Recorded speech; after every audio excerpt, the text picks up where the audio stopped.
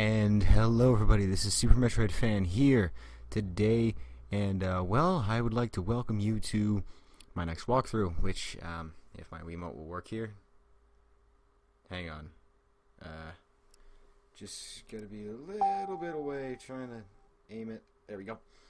So, uh, yes, welcome everybody. This is the next walkthrough, and uh, well, if the title didn't already give away, it's a Nintendo game by Retro Studios on the GameCube. I let the hype be real. For literally, I, if I remember correctly, this was one of the first games in the series to introduce me to it. And honestly, this is one that is good to be introduced to. Metroid Prime. So, yes. I am here, and I am back with this series again. And this time, it's gonna be just me. No co-op, no switching off, no having to, you know, in the middle of gameplay question things. Just right back to the good old fashioned single-player Metroid. So this setup's a little different. Uh, for one, you may be hearing the difference in the microphone if I've had it wrong the whole time, because I've had this blue snowball from Dennis, and I just haven't apparently been using it at all in any of my recordings for the past three months. So there's that. Alright, so anyway, uh, as you can see, this is my personal save. Uh, I'm not going to delete it. Nah, who am I kidding? I really should, to be honest. But it doesn't really matter, because whatever. So I've beaten the game, as that was an indication. And also, I have a copy of Metroid Fusion, but it's got that classic issue where no save data can be saved if you turn the console off. So, if I wanted to, I could go through NES Metroid, and that's how I was playing it before. If I even uploaded that, I don't remember. Uh, and the Metroid Fusion Suit is just a connection bonus purely for aesthetic value. Uh, I'm going to turn it on during these first couple episodes, but I would wind up forgetting about it later. So, just kind of here for now. Um, and uh, it will be on during the next later few episodes, but this first episode, I'm leaving it on. And because there is really um, no vocals in terms of talking, I get to talk the whole time. I unlike DMC where I had to depend on remembering where a cutscene would be. I just simply uh, enjoy with you guys this time. So um, I'm looking at the audio waves here, and it looks a little different from the Blue Snowball. I mean, everything seems quieter and more content a little bit, but also there's like weird squiggle bits, so I'll figure out about that. But uh, I'm going to wind up recording this about three times to get three takes that'll go good. Alright, so for those of you that are unfamiliar with the Metroid timeline, with the inclusion of Other M, Nintendo made it so that it couldn't have gone from Super Metroid through the whole series of Fusion, not Fusion, um, Prime, right into Fusion. Now it's considered uh, between Metroid 2 and... No, no, between 3 and 3. It was... Was it after Other M? I can't remember. Either Other M is put between the last part of the Prime series and before Fusion, or it, it goes like right after Other M into Prime. In either case, it would make sense, but who knows? I can't remember off the top of my head. So it's kind of funny to me that I'm coming back to Metroid on a game that came back to Metroid, because after Super Metroid was released for years, including a whole generation on the N64, no Metroid game was released by Nintendo. This was the first game released in at least five years and honestly, it's it was worth the wait if you were a player of Metroid at the time of its release. I didn't get to experience part of that hype, but I still love the game. So Samus looks a little weird due to the fact that I have turned the fusion suit on. I'm going to do a recording of it with the fusion suit and without the fusion suit, and I'll see which one looks better. Um, I don't really think the fusion suit's like that bad, but at the same time, I don't think it's that good. Um, honestly, like if it's a multiple playthrough, then I'd say yes. So the game pretty much will describe itself. Nothing hard here. Uh, it's got very interesting controls, which is a one-stick three-dimensional camera. For those of you at home that are curious, the C stick does nothing, unlike in other shooters where people would believe that it would um, where it would be kind of like uh, moving the camera and then the main stick would be moving the player. It's a little different here, where you have to rely entirely on one stick for your motion, and then the other stick is purely to swap your weapons, which it seems weird, but it's actually a very intuitive and feels natural once you get used to it. Uh, so if you couldn't see, Um, on the left, that's my D-pad. The D-pad will switch between my visors. Samus has multiple visors. For now, she only has her combat and her scanning visor. The scanning visor will tell us information about where to go, or about certain objects, or in this case, interact with the environment. Oh wait, I scanned the wrong thing, didn't I? Whoopsie! Oh god, that voice crack. Oh yeah, it was here that I needed to do it. Whoopsie! Alright, that's better. Um, in the top right, you can see a mini-map, and beneath that you can see my missile count. Because what? Who wouldn't be a badass with a freaking arm-mounted missile launcher? And oh, you're in the vent. That's right. Uh, so in the top left, there is also a little mini-map. If you can't see, and that mini-map is telling me where things that are known as creatures are. Uh, the creatures are your enemies, like everything. That's an enemy is a creature. So after you get a little description here, you can press start. Well, okay, not in this version of Metroid. It's only in two and three. I'm sorry, I forgot to warm up on this. So uh, by pressing start, we go here to our inventory. We can check out our suits, our visors, our morph ball, our arm cannon, our secondary items, and our logbook. This will keep information that we don't need to remember, including the entries of creatures. Um, and on this, there's going to be an important note. When people play this game, they shoot for a couple different things. They shoot for a speed run, they shoot for 100%, and then they shoot for any percent. I've never 100% in a Metroid game in my life. True facts. Not not a single Metroid game has been completed to that degree. And uh, I, I honestly think it's probably a good idea if I start here, because at least in this one, if I frig up, I can always go back. So the game's telling me about my charge beam, which is just you hold your fire button and release, and does more damage. Uh, specifically in Metroid Prime 2, you can see in multiplayer it does, on the standard beam, a single shot does 1, and the charge beam does 10. Uh, but back to what I was saying. So I haven't actually 100% in this game because to 100% the 3D Metroids, you have to not only accomplish getting all the items in the game, which is the line of energy that we have. I believe it is 12 energy tanks, uh, 255 missiles, and a numerous amount of power bombs. That's the one number that I can never remember. And I, I've gotten the missile part. Uh, and also in this game, there's a couple combos for your charge beams and missiles, which we'll find out about that way later. Um, if you don't get those combos, that counts towards your percentage of completion, and I don't even know where one of them is located. So I'm going to have to find all of this information out, which isn't that hard because so many people have 100% and, speedrun this game. Uh, take into consideration, I am most definitely not a speedrunner. I would like to someday be able to shoot for getting close to the Super Metroid World Record speedrun for any percent, but that's that's years away. Um, I would like to go back to the UI for a moment here. So when I was in Morph Ball, in the top right corner, there were those three little hexagonal shapes. Those are my bombs. You can only drop three at a time. It's in every single Metroid game. Look it up. Uh, there, in some games, you can charge your beam and then switch to Morph Ball and you'll drop more. Oh, I was kind of hoping to take no damage until we hit the boss. Um, Ah, yeah. Also in the top, where it says energy, that's my energy. The line represents how far out of the current energy tank I'm on. Will get depleted. Oh yeah, I have to scan you because you're actually an enemy. Go. Uh, those space pirates that I was shooting before, because that's what the enemies are, uh, those do not count towards creatures because they're so damaged. Samus doesn't give a crap about getting their IDs down for some reason. Uh, back to the energy. The bar just shows like kind of nothing actually. This one, if I remember correctly. Oh no, it does actually show for damage out of the full thing. And uh, just for the sake. Actually, no. I'm since I'm not being very much into it, we'll just take a peek. So you can scan almost anything in this game that has that symbol come over it. And uh, I kind of like in the other games how you're just kind of, you can see everything that needs to be scanned, but the problem in Prime 1 is how you have to scan things. As you can clearly see, there is just this box with scanning objects. Everything else has no information on scan, and it's kind of annoying, but you, you get used to it, you know how to deal with it, especially when you know where you're going.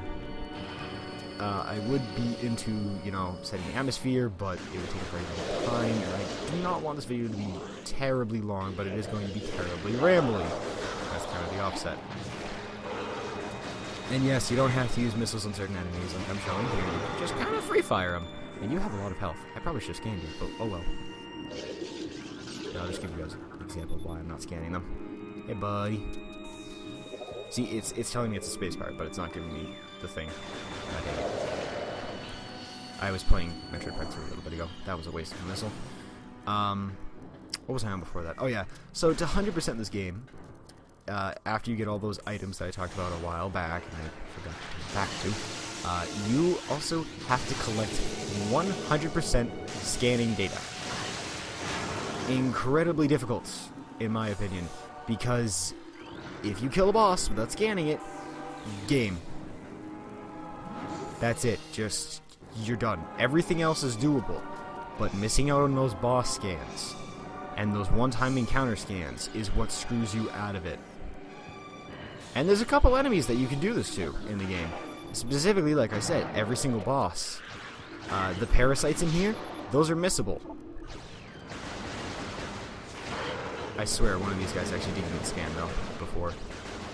Uh, and that's why you have to make sure you get all these scans, because I had a almost completed thing, but I missed the boss of this area, and I miss um I missed a boss's minion that is unscannable again. So I was kind of upset about that because it would have been awesome to have 100% scan data in this game because that's an achievement of itself. Also, something weird about this game. Sometimes the scan zones are not proper. Probably just to prevent you know people from speed running or whatever. Uh, so I gotta this. Just give me this stuff already. Um. So at some points I'm gonna go for atmospheric. Some points I'm gonna go for you know, straight out to the fact, and yada yada yada. I'm going to ramble a ton in this series because that's what I do when I play Metroid. So, okay, so I'm going to aim for 100% scan and 100% item completion, which that is the true 100%. I don't care about my time, etc. Now, when we save in this game, unlike in a few Metroid games, it's not just saving your data, it will fully heal you. Uh, if I was speedrunning, I would have dodged this completely. Like, literally, I just I wouldn't have even bothered because saving is just going to eat away at your time. So speedrunners never save. Which means when they die, they're fucked. Imagine if somebody actually did get the world record and save the game at least one point. That would be pretty cool. And I accidentally triggered this boss. Alright. I'll stay a little quiet for this. Because it's cool.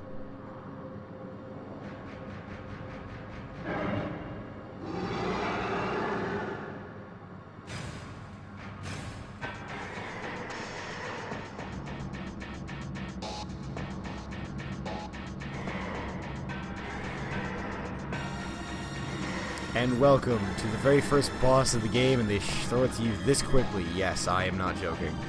This is the Parasite Queen, as the game now tells us. Uh, so space pirates discovered something on this planet, and they started to mess with it. And they made these parasites, and they were trying to replicate Metroids. How this thing is similar to a Metroid Queen, I will never understand. But it's pretty nasty. Granted, this one's kind of damaged, but it's still not terrible. Uh, so this boss fight's pretty simple. Uh, at some points, the boss will shoot its vi vial, yeah, vial at you. Uh, and also these little blue shields actually protect you from ones don't for reason A or B. And sometimes she'll look like she's gonna kill you, but reality, no. She's just kind of mad that you're in her zone, in her face. Uh, and whenever it's like this, don't don't even think you can get a shot in. And damn it, I actually got sideswiped by that fire shit. It's not that hard to dodge it, I'm just not being very good at it. You're supposed to wait to dodge until she, uh, she chucks her head forward. Uh, and then, of course, because she's stupid, she was standing over the reactor. So, introductory or endatory to most Metroid games, we're gonna go run away from explosions now. Literally, this happens in Metroid 3. This game and one other Metroid game. Can't remember though. Alright, so really, like, this isn't even that hard. They give you seven minutes to escape. It's it's really easy. I mean, in all Metroid games, there is this one point, and I can, of course, sit here infinitely, because lol. Um, there's always the one point where you're doing the explosions. It's either the beginning or your end, and there's only like a couple games that do the beginning. Oh hey, this is a way to make it easy on my missile count. Thank you. Just disable that turret. Yeah. And then we come back here, they're fighting another Parasite Queen that didn't get to live. There are enemies everywhere, but who gives a crap? Except like the ones that are actually walking. Wait, can I scan you? No, no, no. Kill it because it doesn't want to freaking work. Uh, the best strategy in this game, by the way, to avoid enemy incoming fire, just kind of circle strafe. Make this nothing to it. Uh, and you'll hear me rapidly tapping a lot, at least with the power beam, because sometimes, you know, the single shots are better because uh, it may seem like more less damage or more, but it's kind of the opposite in some cases. And, oh hey, yeah, you're a new enemy, I should probably scan that. Oh, wait, no, you're just, you're enemy. So if you were paying attention, there was only a couple cases where you could have scanned the uh, fully fledged parasite. And I mean like five circumstances. So if I didn't get it, like I did already, I'd be screwed. And, uh, okay, I just want to make sure that I wasn't in the wrong area. Um, 100% scan data is harder than 100% items, because in this game you can go back and fix your items if you fuck up. So, 100% scans is not my focus, 100% items is, and again, this is going to be my first time doing so, so if I fuck it up, I'll have to go back and post and uh, get the item, which isn't all that hard. It's just very time consuming, which is why I say it'll be a post. To wait for that explosion. so yeah, in typical fashion, we're just kind of getting away from an explosion. I don't care what you guys, you guys are shit. Know what I think would be kind of funny? If you ever were like a secretary and you just had to constantly carry like a, a gun. Because if you didn't have a gun, you couldn't shoot these doors to like talk to your boss or whatever. So I'm, I'm just curious if like a paralyzer, Samus's sidearm whenever she desuits, is like given to everybody in the um, Galactic Federation. Just because why do doors have energy shield? I mean, can you touch the door with energy shield? Because if that's the case, Samus can't do that for whatever reason. Uh, also, if I remember, this thing can kill you, but uh, this you suck. Like, no hiding it. That's crazy thing to dodge. Back to what I was saying. Yeah, how? how why do they do that? I, I always wondered that. Like, in some areas of the game, it makes sense. Like in here, maybe, just maybe,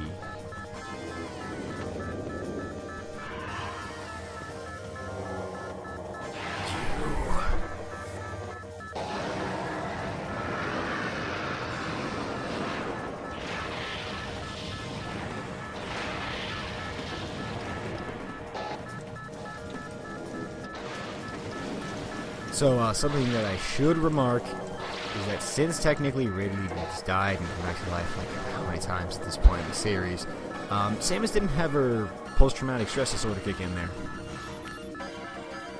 And she knew Ridley was dead. Other M, you kind of fucked up by trying to emphasize how much people need to read the Metroid mangas there. And, uh, well, we tried running from explosions. Didn't work out too good. We still got up in this one. Uh, this doesn't make much sense, what you're seeing, but if I had the regular suit on, which I should have had on because I'm stupid, um, her shoulder pads for her Varia suit just fall off.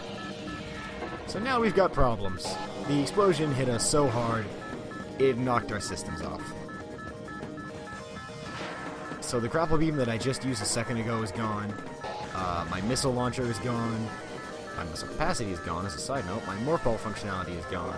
My charging beam is gone. Many of my freaking necessary functions are gone. Meaning Samus just lost most of her power-ups because she stared at an explosion. The one thing cool guys don't do. But it doesn't matter because we have more than enough time to escape the explosion. And Samus gets to live another day. Oh no, the powerful chosen artifacts are gone. How will I recover them? I don't know. You know what? I have no powers. I'm gonna go fight this giant purple space dragon on that planet. Because he's surviving.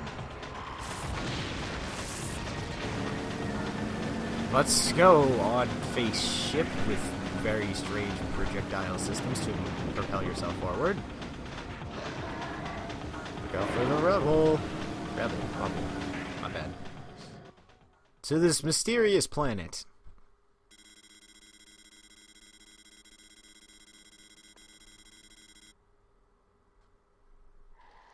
Shit.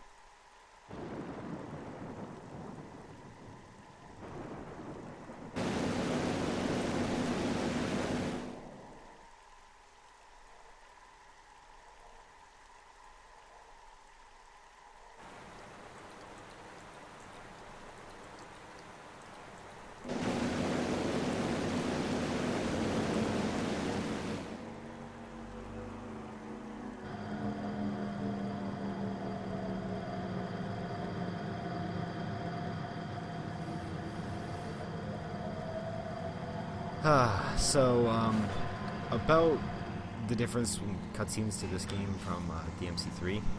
Uh, I don't remember where most of the cutscenes are in this game. I remember what they are, but I don't remember what triggers them. And because of that, I'm sorry to say, but you're going to have to put up with the little tiny bit of background noise that occurs when I'm not talking. Uh, because there's not enough time for me to do my usual audio trick that allows me to see, so to say, in post, where a cutscene begins and where it ends. So for that reason, I'm sorry to say it, but you have to put up with it. And that's not going to matter too much because, again, there's not very many cutscenes. But at the same time, I think that you'll be able to hear this game fine. So, another difference between this game and DMC3 is that when I end an episode, like I am right now, I'm going to simply just have a moment when I am done talking where, if I remember, there should be annotations or an end card telling you where to go. Uh, This is experimental and this is new to me because I don't know how to do this. I want to try to do something good for this walkthrough though because I love this game. I love all the Metroid games. More than I love Devil May Cry. And Devil May Cry, I love a fucking lot because it's so much fun to hack and slash, but this game is different. This game has atmosphere, and I'm going to try my best to try and let you sample it when I can. When Nintendo won't slap me with a copyright for doing it, because as much as we love Nintendo, Nintendo doesn't love gamers so much. Uh, also, if you're curious, the target um, video length for these episodes is 20 minutes, not 15 or 30. Uh, the end, this part of the end of a walkthrough is a little different, but it's just so I can inform everyone what's going to happen as a difference. And the music is picking up at just the right moments. Alright, so, thank you all for watching. I have been Super Metroid Fan. This has been Metroid Prime on the GameCube, not the Wii version of this beautiful and amazing game. Uh, and I thank you all for watching. If you'd like to watch more, please uh, go ahead and subscribe to me so that way that when the next video goes out, you can get it right to your YouTube inbox. Or better yet, go check out the channel and see the previous walkthrough that I'm talking about. Uh, in both cases, please, if you enjoyed, leave a like, and if you did not enjoy, leave a dislike. I love to hear people's feedback. And on that note, I'm going to have to say goodbye for now. Ciao!